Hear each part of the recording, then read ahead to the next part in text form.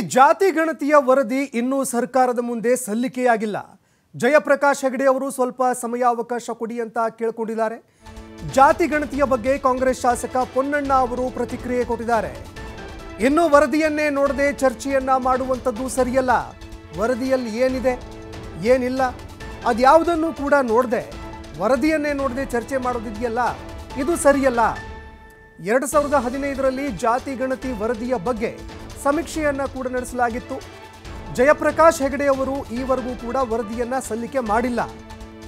ಇನ್ನು ಈ ವರದಿಯನ್ನ ನೋಡದೆ ಅವೈಜ್ಞಾನಿಕ ಅಂತ ಹೇಳೋದು ಕೂಡ ಸಾಕಷ್ಟು ಗೊಂದಲಕ್ಕೆ ಕಾರಣವಾಗಿದೆ ಅಂತ ಪ್ರತಿಕ್ರಿಯೆ ಕೊಟ್ಟಿದ್ದಾರೆ. ಆದರೆ ಎರಡು ಸಾವಿರದ ಹದಿನೈದನೇ ಇಸ್ವಿನಲ್ಲಿ ಈ ಜಾತಿ ಗಣತಿ ಮಾಡಿ ವರದಿಯನ್ನು ಸಲ್ಲಿಸಿ ಅಂತ ಅಂದಿನ ಆಯೋಗದ ಅಧ್ಯಕ್ಷರಾದಂಥ ಕಾಂತರಾಜ್ ಅವರಿಗೆ ಸರ್ಕಾರ ಸೂಚನೆ ನೀಡಿತ್ತು. ನಿರ್ದೇಶನವನ್ನು ಕೂಡ ಕೊಟ್ಟಿತ್ತು.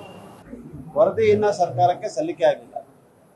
ಕಾಂತರಾಜ್ ಅವರು ಅಧ್ಯಕ್ಷರಾಗಿದ್ದಂಥ ಸಂದರ್ಭದಲ್ಲಿ ನಾನು ವರದಿ ಸಲ್ಲಿಕೆ ಮಾಡ್ಲಿಕ್ಕೆ ಹೋಗಿದ್ದೆ. ಅಂದಿನ ಸಮ್ಮಿಶ್ರ ಸರ್ಕಾರ ವರದಿಯನ್ನು ಸ್ವೀಕಾರ ಮಾಡಲಿಲ್ಲ ಅಂತ ಹೇಳುವಂತ ಮಾತನ್ನು ಹೇಳಿದ್ರು. ನಂತರ ಭಾರತೀಯ ಜನತಾ ಪಕ್ಷದ ಸರ್ಕಾರ ರಚನೆ ಆದ ನಂತರ ಜಯಪ್ರಕಾಶ್ ಹೆಗ್ಡೆ ಅವರನ್ನ ಅಧ್ಯಕ್ಷರಾಗಿ ನೇಮಿಸಿ ಆಯೋಗ ರಚನೆ ಆಯಿತು. ಅವರು ಕೂಡ ಇನ್ನೂ ವರದಿಯನ್ನು ಸಲ್ಲಿಸಲಿಲ್ಲ. ಮಾಧ್ಯಮದಲ್ಲಿ ಅವರು ಸ್ವಲ್ಪ ಕಾಲಾವಕಾಶ ಕೊಟ್ಟರೆ ನಾನು ವರದಿಯನ್ನು ಸಲ್ಲಿಸ್ತೀನಿ ಅಂತ ಹೇಳಿದರು. ಅದರಿಂದ ಅವರು ವರದಿ ಸಲ್ಲಿಸಿದ ನಂತರ ಸರ್ಕಾರ ತೀರ್ಮಾನಗಳನ್ನು ತಗೋಬೇಕು ಚರ್ಚೆಯನ್ನು ಮಾಡಬೇಕಾಗುತ್ತೆ? ಯಾರೂ ಕೂಡ ವರದಿಯನ್ನೇ ನೋಡಲಿಲ್ಲ. ಅವೈಜ್ಞಾನಿಕವಾಗಿದೆ ವರದಿ ವರದಿ ಸರಿ ಇಲ್ಲ, ತಿರಸ್ಕಾರ ಮಾಡಿ ಅಂತ ಈಗಾಗಲೇ ಚರ್ಚೆಗಳು ನಡೀತಾ ಇದೆ. ಅದು ಒಂದು ರೀತಿಯಲ್ಲಿ ಗೊಂದಲಾಗೆ ಇವತ್ತು ಕಾರಣ ಆಗಿದೆ. ಅದರಿಂದ ವರದಿ ಬರೋವರೆಗೂ ಎಲ್ಲರೂ ಕೂಡ ತಾಳ್ಮೆಯಿಂದ ಕಾಯಬೇಕು ಅಂತ ನನ್ನ ಒಂದು.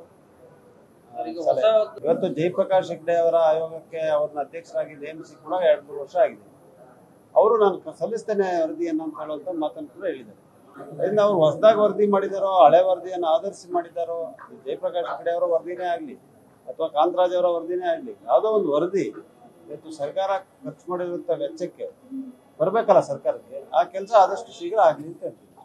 ಆದರೆ ಎರಡು ಸಾವಿರದ ಹದಿನೈದನೇ ಇಸ್ವಿನಲ್ಲಿ ಈ ಜಾತಿ ಗಣತಿ ಮಾಡಿ